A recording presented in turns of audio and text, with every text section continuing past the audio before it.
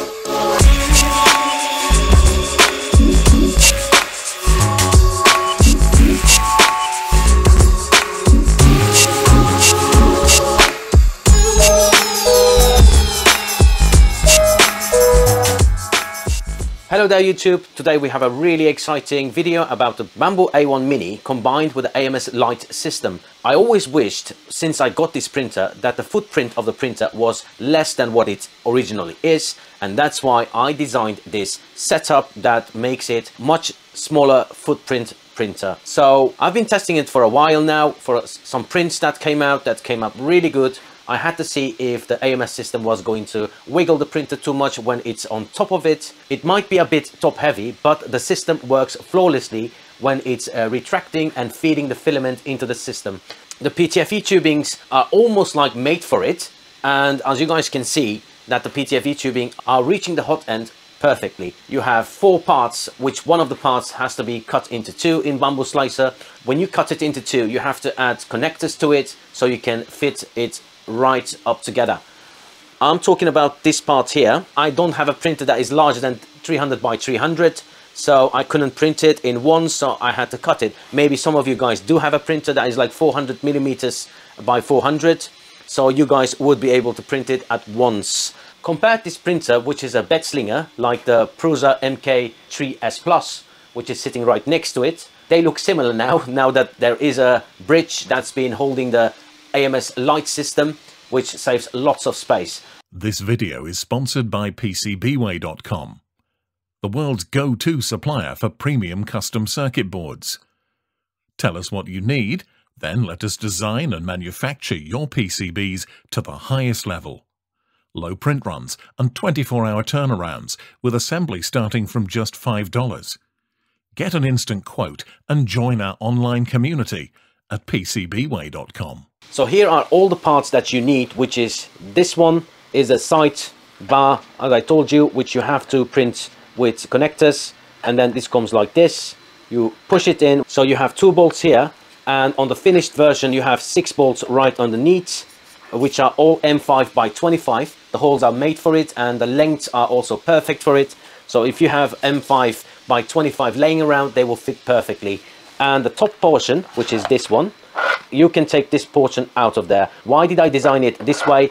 It's because, let's say you need to take your AMS system out of the gantry at its hole, then this portion here is fixed to the AMS system. So you just take this portion out and your AMS system is free.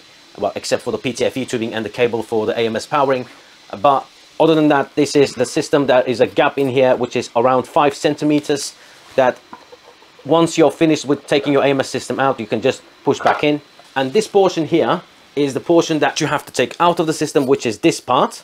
So you take this one with one bolt here out of the system, and then this is what's underneath it with three bolts. You take this one out as well, and then you can fit in this part in, in its hole, three bolts here and one bolt in the front, and that's it. It's really rigid, it stays on there. To mention what the dimensions of this whole unit is in its whole with the printer and everything inside, it's 76 centimeters tall, which is 30 inches tall, and 46 centimeters or 18.1 inches wide, 45 centimeters of 17 inches deep. That is counting with the bed going inwards and outwards. So that's the dimensions if you want to fit this into a cabinet or whatever. I have also printed it without the AMS Lite system being on top of the gantry, which is this print. this came out also really nice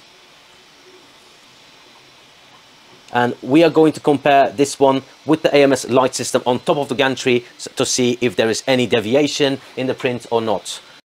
So now we have the two printed parts which came out of this Bambu A1 Mini. This one is uh, with the AMS Lite system on top of the gantry and this one is on the side of the gantry which is the original way of using the AMS Lite system. So when we compare these two they are identical. There is nothing that is interfering with your printer like the lines and everything are same it's perfectly matched so seeing this result i think this is a successful project and any of you guys want to print this it takes around 13 hours give or take to print this. This is a really sturdy design so when you move this part you do see a little bit of wiggle on top of it but that's fine giving that this printer does wiggle without this uh, setup as well. But it's all in the acceptable margin of wiggling of this printer. So guys yeah you guys decide whether you want to make this setup or not if you ask me this really is a, a space saver and I really like it. I'm not going to go back to the original setup. As as far as this is working it's it's just great. I chose really nice coloring so it blends in with the printer itself